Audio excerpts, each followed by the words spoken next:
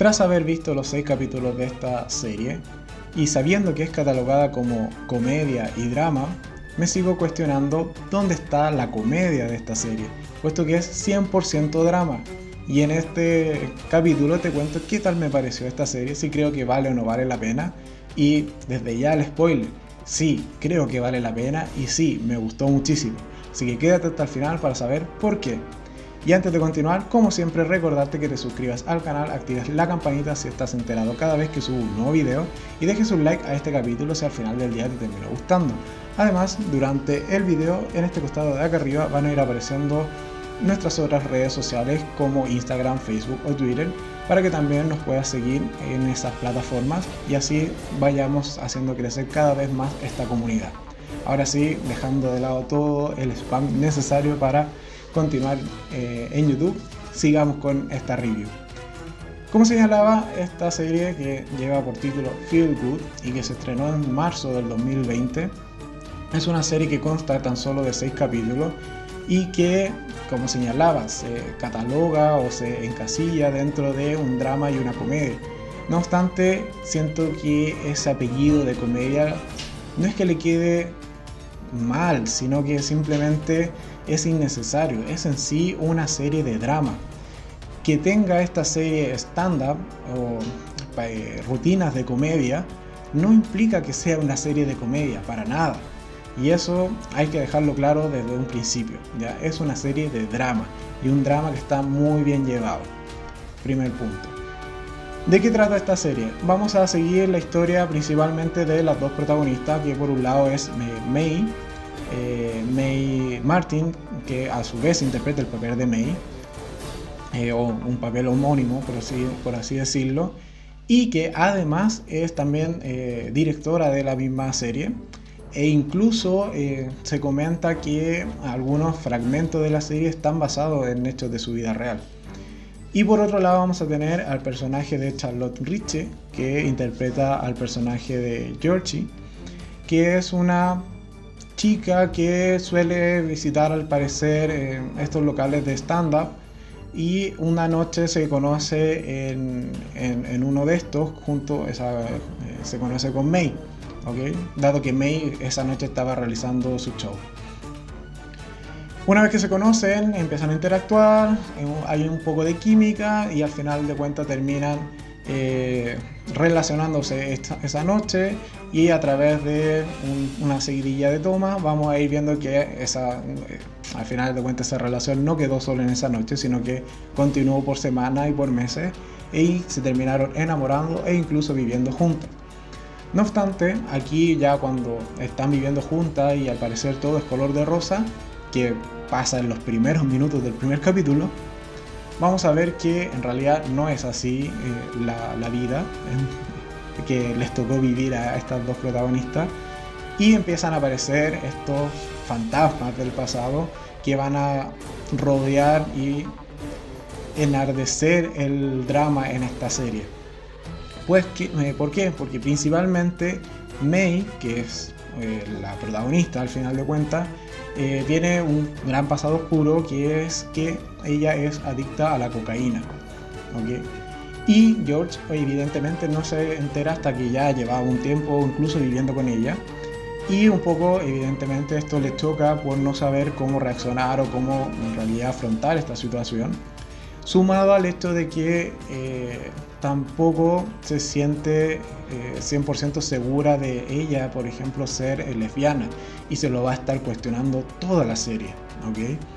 Y por otro lado, May va a estar luchando constantemente con su adicción ya sea a la cocaína, dado que trabaja en un club nocturno de, eh, de, comedia, va a estar constantemente tentada, pero también vamos a ir viendo cómo esa adicción a la cocaína al final de cuentas la va a ir transformando en otro tipo de adicción a la cafeína, a ciertas rutinas o incluso en algún punto vamos a ver cómo esa adicción se transforma en una adicción hacia la propia George.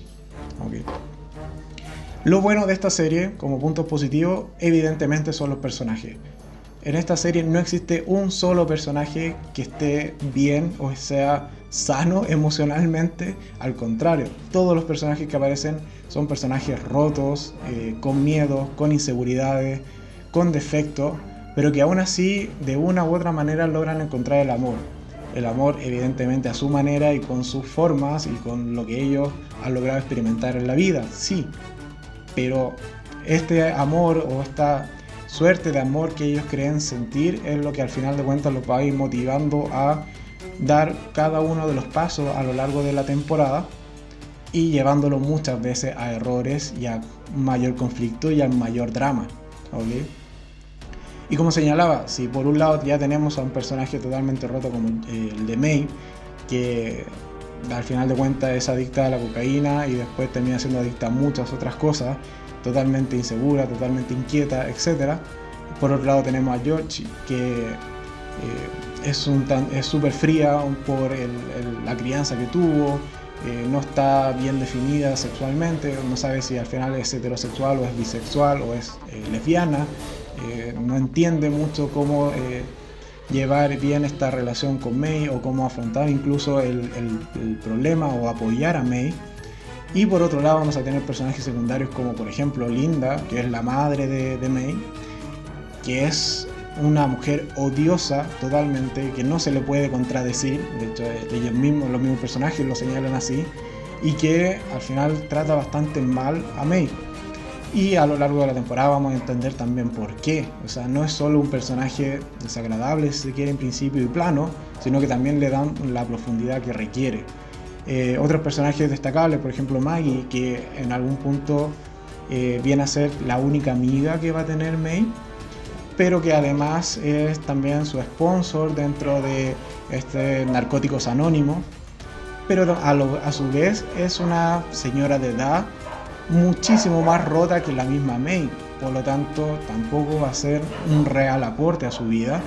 Hubo otro personaje como Lava, por ejemplo, que de hecho se llama Lava porque su madre estaba tan drogada cuando la fue a inscribir que no supo escribir bien Laura y le pone lava. ¿Ok? Por decir un ejemplo. Que a su vez esta, este personaje de lava está interpretado por eh, Ritu eh, Arya, que es eh, Ritu Arya, que es la misma que hace de Laila en The Umbrella Academy. Paréntesis musical, dejémoslo de lado.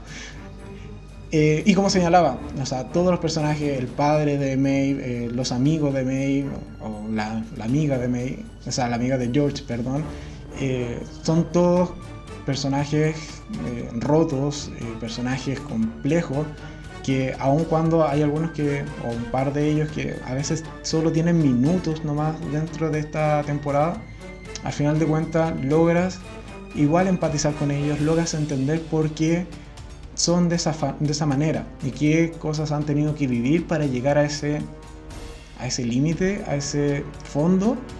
En sí, muy buenos personajes. La trama, eh, si bien es muy, no, no es simple, pero sí es eh, un poco lo que se puede esperar de un drama y tampoco le pidamos más a seis capítulos de media hora eh, en cuanto a profundidad pero al menos se desarrolla bien y mantiene un buen ritmo lo que es la trama. Puntos negativos o puntos que quizás no me terminaron de gustar tanto en esta primera temporada son en sí los amigos adicionales de Georgie. Y digo adicionales porque dentro de los amigos vamos a ver un grupo de tres amigos que tiene Georgie, en donde está eh, Binky y dos chicos más, y a lo que me refiero en particular son a los dos chicos, esos personajes sí los, eh, encontré bastante exasperantes, que en verdad no aportaban realmente mucho a la trama o a la interacción con el resto de las protagonistas, por ejemplo, y un poco que sobraban y sus bromas en verdad no son realmente muy inteligentes o que vengan mucho al caso. Eh, del grupo de amigos sí de, rescato un poco a Vinky, aun cuando tampoco se le damos una mayor profundidad. Pero Fuera de eso, en realidad no le encuentro muchos puntos negativos a esta serie. Y a decir verdad, luego de verla y dado el, tipo de, trama y el tipo de final que posee, me dejó un, rollo de mal cuerpo al final del último capítulo. Puesto que, eh, si bien termina y bueno, no, no, concluye realmente la historia, es un final un tanto abierto que da para una segunda temporada. Y si la cancelaran, también podría decir que es un buen final como para eh, un cierre de, la historia. No es un final feliz, para nada, es un final totalmente agridulce. Y un poco lo que le pasaba, por ejemplo, a Trinkets, en la segunda temporada, que también tuvo sus términos, que es que cuando tienes personajes complejos con adicciones o que eh, en algún punto llegan a estar tan rotos que por mucho que intentes unir las piezas no logras repararlos 100% o volverlos una, eh, una forma eh, pulida y sin, sin fisura, es que no puedes esperar realmente un final feliz. Y aquí no te lo dan para nada. Si bien hay ciertos matices de, ok, esto se soluciona de buena manera, sabes como espectador de que o eso no va a durar o algo malo va a pasar porque ya conoces a los personajes. Lograste en seis capítulos un nivel de profundización de personaje muy bueno y sabes que algo van a hacer para que esa felicidad quizás pasa, eh, pasajera o momentánea en realidad dure la nada misma. En sí, esa es mi opinión respecto a Feel Good, una serie que realmente me sorprendió.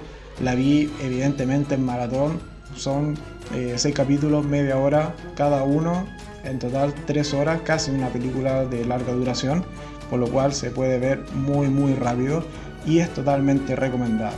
Evidentemente por todo lo que ya he dicho, eh, un poco se pueden esperar que en el gatómetro en esta ocasión le daré cuatro gatitos de 5 por todo lo que ya he señalado. No quiero ya seguir comentando por miedo o temor a eh, quizás revelar algún spoiler. En sí es una serie que me gustó muchísimo, que recomiendo totalmente ver y espero que tenga una segunda temporada para seguir viendo la evolución, el crecimiento y el drama de estas dos chicas. Por un lado May, qué va a pasar con su adicción y qué va a pasar con George. O sea, al final de cuentas va a aceptar o no va a aceptar que ama a May o no la ama. En fin, esa es mi opinión, espero que te haya gustado. Recordarte como siempre que en este costado te dejo enlaces a otros capítulos que quizás te puedan gustar. En el costado de acá te dejaré el enlace con la cara del gato alto para que te suscribas. Y si te gustó este capítulo, te agradezco mucho el me gusta que me ayuda a crecer en YouTube. Eso sería todo por hoy, espero que te haya gustado este video. Nosotros nos estamos viendo en un siguiente capítulo. Adiós.